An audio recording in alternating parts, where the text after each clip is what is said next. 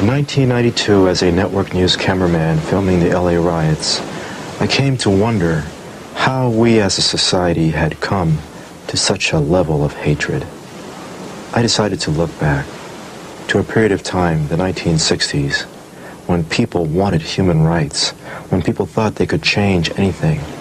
And I wondered what happened to those people? What happened to that movement? And my questions became this documentary, All Power to the People.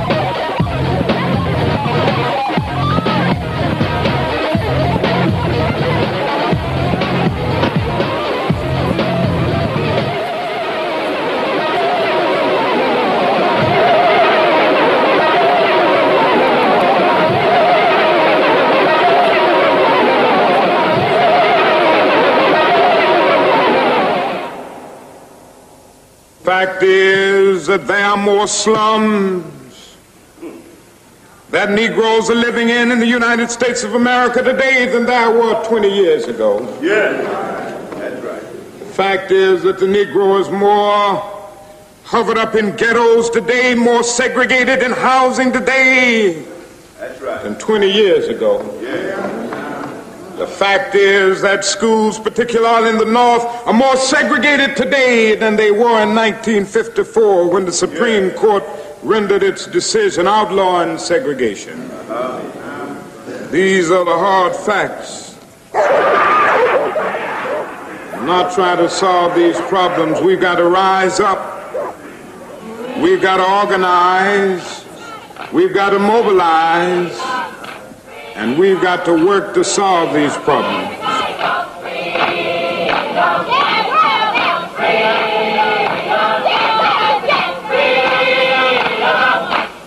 Well, it was a very controlled exercise. We were told what time to come into town, where we could march, where we could not march, the kinds of signs that we could carry.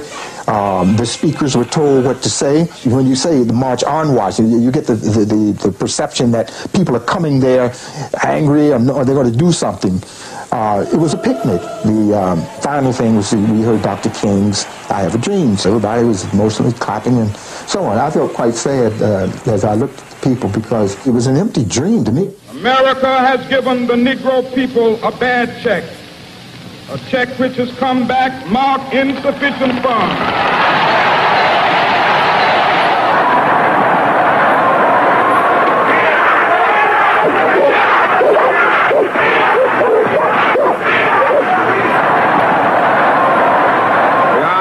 Whose time has come today I had responsibility for protecting his life on the march from Selma to Montgomery, and I spent five or six absolutely sleepless nights down there. We drive, I drive back and forth from Selma to Montgomery, and I look at every tree and around every corner and wonder, and up on the roof and wherever.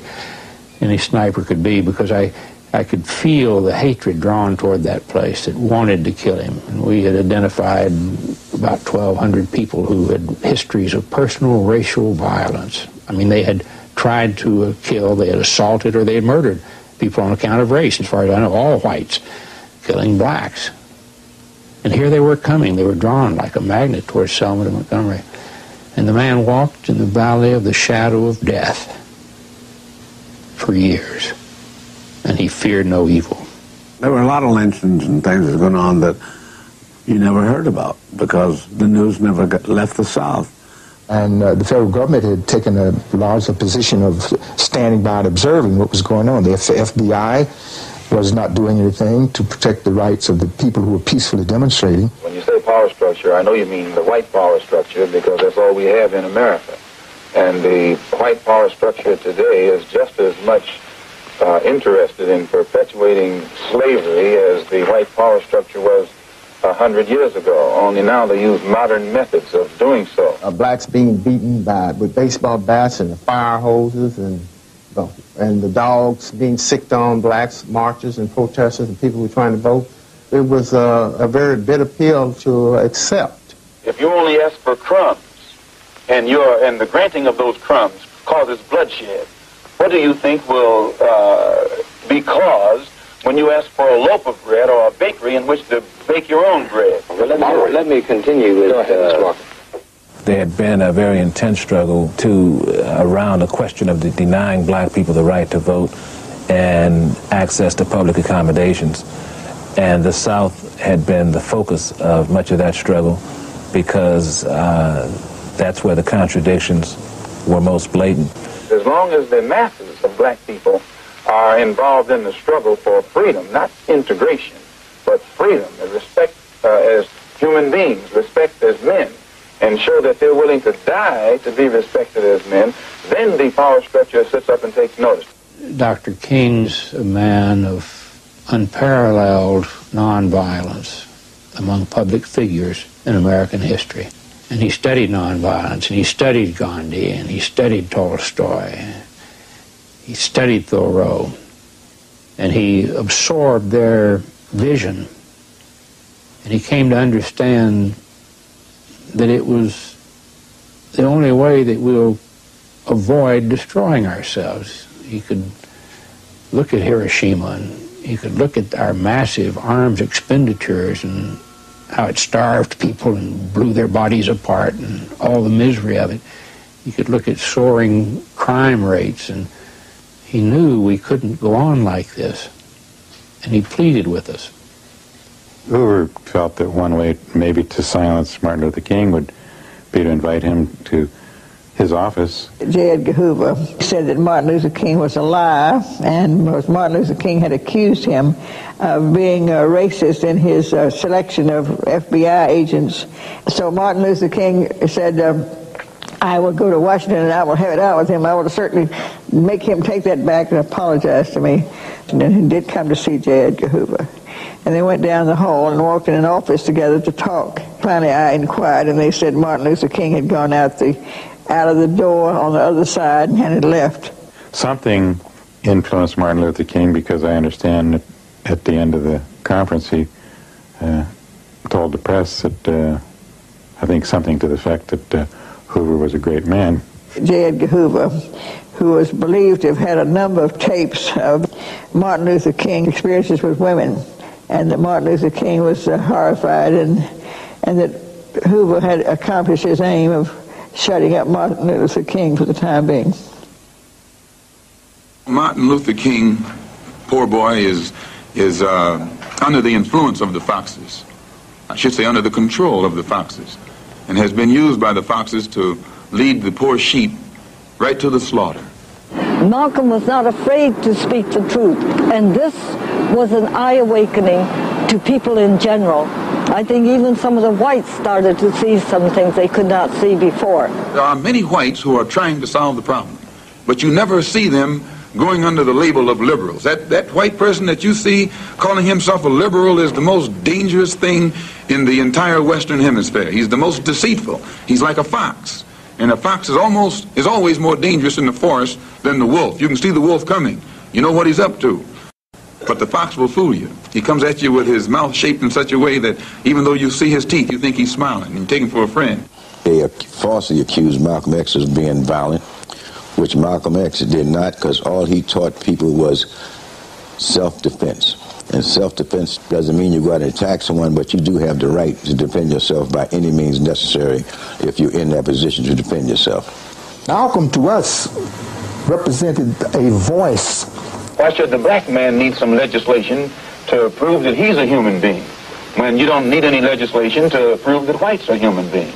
So I make this point because, to come right back to my initial statement at the outset of the program, you will never get real freedom and recognition between black and white people in this country without destroying the country, without destroying the present political system, without destroying the present economic system, without rewriting the entire Constitution. It'll be a complete destruction of everything that America supposedly stands for before a white man in this country will recognize a black man as something on the same level with himself heads of governments and, and, and leaders of uh, revolutionary movements listened to him and were convinced that there was a legitimate problem, a human rights problem that black people had in the United States, which was being covered up and concealed. He hated all the things that decent people should hate. He hated racism and hypocrisy and oppression and the tyranny of those in power. And what he loved, he loved humanity. But of course, the humanity in this country because of the racism was not the kind of humanity that anyone could love.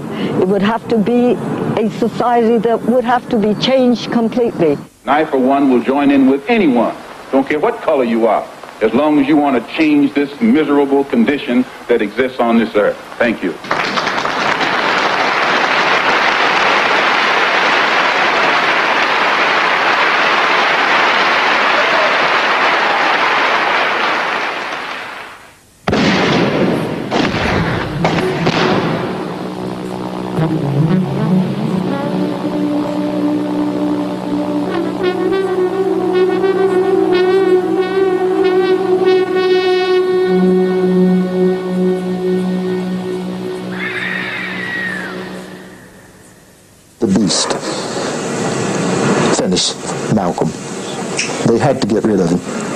Malcolm was assassinated, I was at the Audubon Ballroom the day that it happened. It was a terrible thing to witness. And there are a lot of things that happened there that day that I don't understand, have, and a lot of questions that have not yet been answered. People are still trying to puzzle out or piece together what really happened and who was re- really responsible in terms of the actual participants. We know that the United States government planned it, did all of the plotting, and utilized the uh, used the Nation of Islam and some of Malcolm's own people to bring him down. I found out later on after research that Gene Robbins was on the stage when Malcolm X got assassinated. He was a gold badge carrying detective. If you define what a bodyguard is, it's distinctly just that. You guard somebody's body with your body, and that makes you a bodyguard. So now how come any of what's there is beyond me to jump in front of the bullets? They ain't supposed to be off the stage, down the stage, around the corner. Those are not bodyguards. The CIA is completely very powerful in this country. Nobody knows how powerful. The CIA had uh, liaison projects with uh, police forces all over the United States. There was a chance of detente between Malcolm and, and King at the time of Malcolm's assassination. Two of the people arrested for uh, the murder of Malcolm X were people that had not fired a shot that had hit the victims. These uh, activities were run by the counterintelligence staff of the CIA. It was put in counterintelligence in order to bury it as deep as possible within the agency and prevent exposure. I find it uh, a little strange that the FBI has informant files on so many people who end up assassinating someone. If the CIA was doing it in New York, imagine they were doing it in country after country around the world. Ah, well, if they had not killed Malcolm X, probably the Black Panther Party would not have evolved. I found these Declaration of Independence piece, that first two paragraphs that said, when in the course of human events it becomes necessary for any one people to dissolve the political bondage which have connected them with another, when a long train of abuses and usurpations pursues and invariably evinces a design to reduce a people under absolute despotism. Well, this kind of phrasing, this kind of thinking, and our understanding, particularly the way I was coming from in my decisions to help to create this organization, was all about this need to change and alter the government, to evolve some community control kind of political power back into the hands of African American people in the black community. So we went down to the War on Poverty office, three blocks from my house. It's right there in North Oakland. And we sit down and decided right there by October 15th and start writing out this 10-point platform and program for this new organization. Many people don't understand that the Black Panther Party's 10-point program and platform was basically a statement of principles. And it was around these principles that we organized in the black community. Point one said we want power. We want power to determine the destiny of our own community. And it went through a series of issues we wanted decent housing. We wanted to determine the destiny of our community. Decent education taught us about our true history. Uh, we wanted fair treatment in the courts, juries of our peers. We wanted to end to police brutality. We wanted a relevant education that taught us who we were and our role in society. Uh, we wanted land, bread, housing, education, clothing, justice, and peace. We wanted to organize political, electoral, black community power. The point was not to show what the government was not doing. The point was to show the community how the community could empower itself and how the community could organize. So we wrote this program, 10 points of what we want, then 10 collateral points of what we believe. And these principles and, and stated um, objectives of the Black Panther Party were the heart of its program. We still didn't have a name for this organization. I had gotten a pamphlet from the Lowndes County Freedom Organization. So I said, Huey, why they got this logo for this panther here? And another point that day, Huey said, you know, I think the nature of a panther is, is that if you push it in the corner, and if it can't go left and it can't go right, it's going to tend to come out of that corner to wipe out the aggressor who pushed it in the corner in the first place. I said, that's what the racists have done, Huey. They didn't push us black folks in the corner. We decided to name it the Black Panther Party at first, and then we said, well, wait a minute, we're going to take a position on self-defense. So me and Huey agreed in the Black Panther Party for self-defense. So that was the night, October 22nd, the finalizing founding evening night. Because this is what happened. Huey was saying, okay, we're going to have to have some officers. So I flipped for chairman, a coin, a silver dollar. I flip, I say heads, I'm chairman. Boom, it land on heads. I say, I'm chairman. I go ready to hand Huey the silver dollar and I pull back. I says, you don't need to flip. So Huey say, uh, what do you mean I don't need to flip? I says, wait a minute, Huey. I says, only two of us. Oh, that's right. Uh, I says, you automatically minister defense. So I got chairman. Yeah.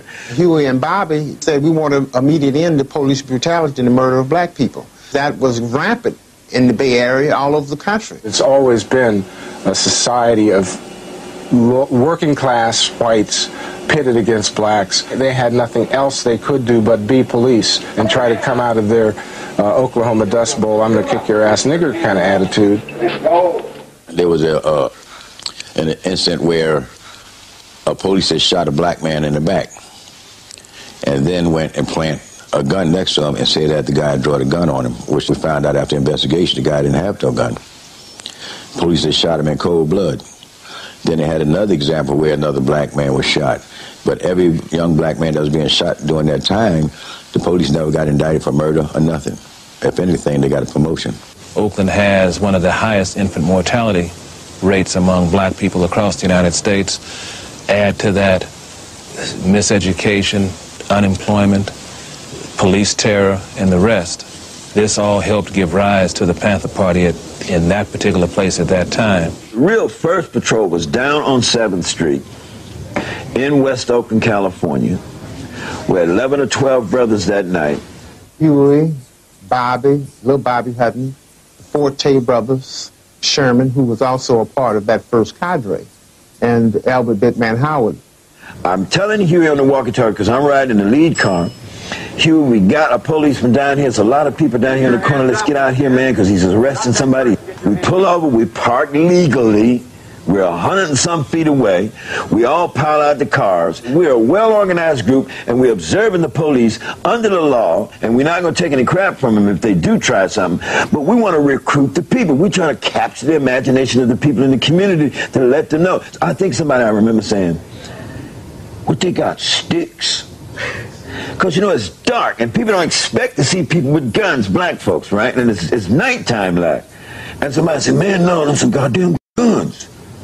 And somebody said, I'm getting the hell out of here. Huey tells this brother who says, I'm getting out of here. He says, no, no, no, you don't have to leave. We're a new organization. We're the Black Panther Party. We're here to observe these police out here who've been brutalizing our people in the community. So please stay. We researched the law. Everybody know we have a right to observe the police. Well, that got the police's attention. He stands up. You have no right to observe me, he hollers at Huey. But Huey says, no. Huey citing the specifics of the damn law. And some sister in the audience said, well, go ahead on and tell it. And another brother said, what kind of Negroes is these? And the cop says, well, is that gun loaded? Huey said, if I know it's loaded, that's good enough. This scene, man, is a scene where bang, when Huey says, if I know it's loaded, that's good enough. It caused little Bobby to say, yeah, that's right. I haven't jacked around the chamber. And the other brothers with the long guns, and the cop turned around and saw all these people jacking the rounds off in the chamber. It blew his mind. He was awed. He stepped over to his arrestee. He opened the back door. Unconsciously, he protected the arrestee's head, put him in the car, shut the door. Then he stopped to look at the sister.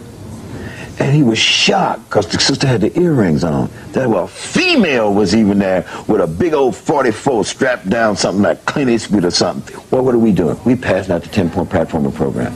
Political education session meeting is at 2 p.m. at 5624 Grove Street up in North Oakland. Please be there, brothers and sisters, because we're going to organize some political, electoral, community power in the black community.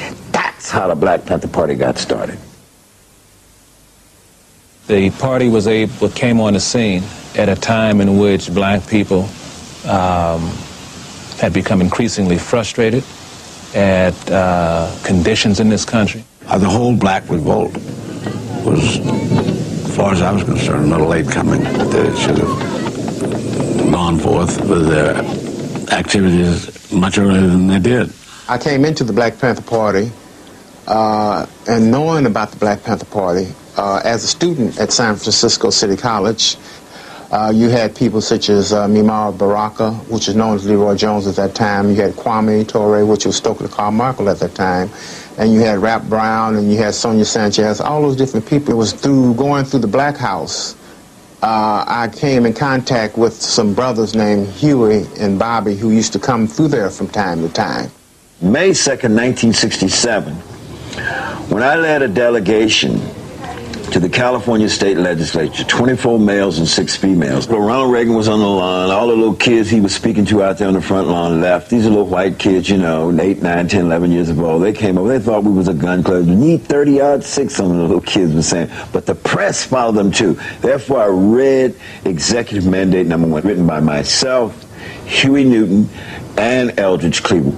The Black Panther Party for Self-Defense calls upon the American people in general and the black people in particular to take careful note of the racist California legislature, which is now considering legislation aimed at keeping the black people disarmed and powerless at the very same time racist police agencies throughout the country are intensifying the terror, brutality, murder, and repression of black people. That gave us international notoriety because we were arrested and we was all bailed out the next day or so, etc. And boom. Get your hands up. At a traffic stop, an altercation occurred. A police officer was killed, Huey Newton was wounded, and went to jail. Uh, I will be uh, free uh, providing that we're successful in the battle that we're engaged in now, and that is to uh, revolutionize the court system. It all depends upon on this uh, problem. Huey was facing the gas chamber. Uh, Bobby Seale and a handful of all the other members who'd gone to Sacramento were in jail. They were serving time. So it really wasn't much of a organization. At that point, the, actually, the Black Panther Party totally fell apart. It didn't exist. I was in the Student Nonviolent Coordinating Committee, so I came out then in November of 1967 to uh, work with Eldridge organizing the support around Huey's case. Do you have any money? Uh, no, I'm, I'm in a severe state of poverty. What about the Huey Newton uh, Defense Fund? Uh, I don't know too much about the Huey Newton Defense Fund, actually. Who's paying your attorney's fee? Uh, I believe the Huey Newton Defense Fund. I come out of jail. Eldridge Cleaver is back because Huey has been shot. He has put out one issue that says free Huey. "Free Huey."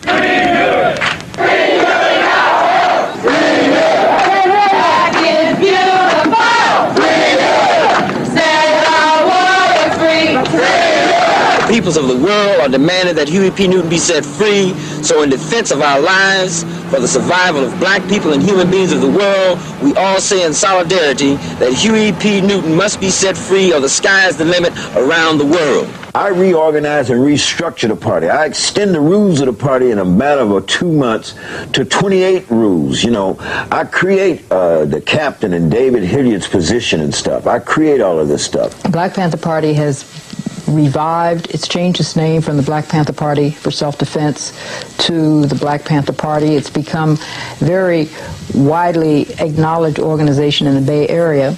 I was deputy chairman of Student Nonviolent Coordinating Committee. Put me in touch with a lot of people in the Panther Party. The alliance uh, was formed in 1968. The Panther Party emerged in Oakland, California, and did not have a national base. SNCC had a much longer history, had uh, in many ways more seasoned activists. H. Rap Brown was drafted into the Black Panther Party as Minister of Justice. Kwame Ture was, uh, or Stokely, was drafted as Prime Minister of the Afro-American nation. James Forman was drafted as Minister of Foreign Affairs and Director of Political Education. I can remember seeing on television people like Stokely Carmichael and others. Violence is a part of America's culture. It is as American as cherry pie. Against all forms of racist. And they were scary to me, even. So, uh, if it would shock a person like me being in the CIA, certainly the ordinary society and the elites, above all, who run the United States, would have been very threatened. Black power means dignity. See, it's no in between. You're either free or you're a slave. There's no such thing as second class citizenship. The only politics in this country that's relevant to black people today is the politics of revolution. That we must arm ourselves, that we are in imminent danger, that the concentration camps in Tule Lake, in Arizona, and Oklahoma are now being rejuvenated, reset up for us, and we will defend ourselves. Uh, I don't believe in guerrilla warfare. I think it would be both impractical, ineffective, and immoral. Uh, so I can't uh, believe in this at all. I think we must see, on the other hand, however, that the young militants are in the revolutionary spirit. And uh, they are concerned about revolutionizing uh, certain values that have been existing in our society that need to be revolutionized. And I think the other thing that we must see is that, as President Kennedy said, those who make peaceful revolution impossible only make violent revolution inevitable.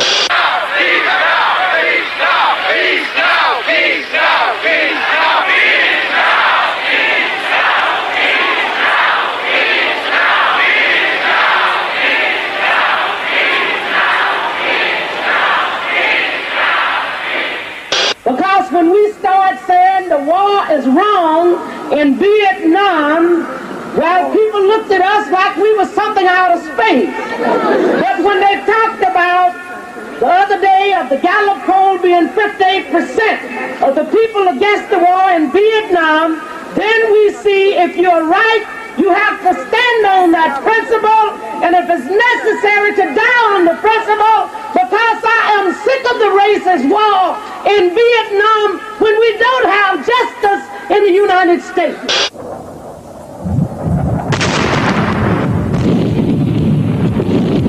They're a bloody good bunch of killers.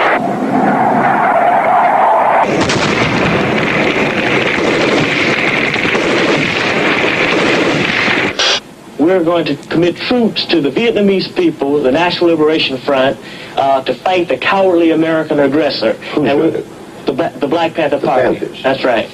The question is whether our nation has the will And I submit that if we can spend $35 billion a year to fight an ill-considered war in Vietnam and $20 billion to put a man on the moon, our nation can spend billions of dollars to put God's children on their own two feet right here on earth. I'm going to uh, make this known at the Paris peace talks so that uh, it can be accepted or rejected uh, by the Vietnamese people, but in the spirit of internationalism and the spirit of international.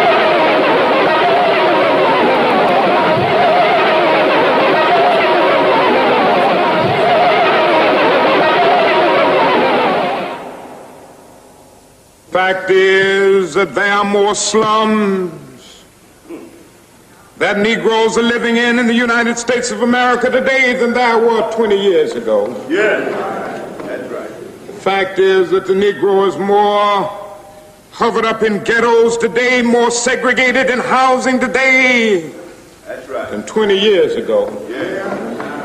The fact is that schools, particularly in the North, are more segregated today than they were in 1954 when the Supreme Court rendered its decision outlawing segregation. These are In 1992, as a network news cameraman filming the LA riots, I came to wonder how we as a society had come to such a level of hatred. I decided to look back to a period of time, the 1960s, when people wanted human rights, when people thought they could change anything. And I wondered what happened to those people? What happened to that movement? And my questions became this documentary, All Power to the People.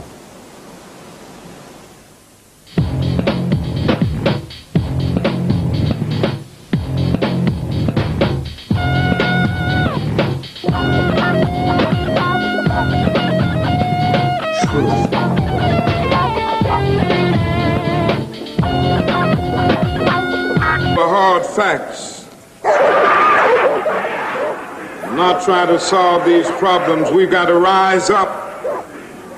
We've got to organize. We've got to mobilize. And we've got to work to solve these problems.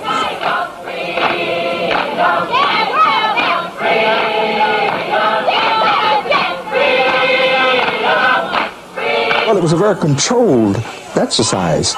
We were told what time to come into town, where we could march, where we could not march, the kinds of signs that we could carry.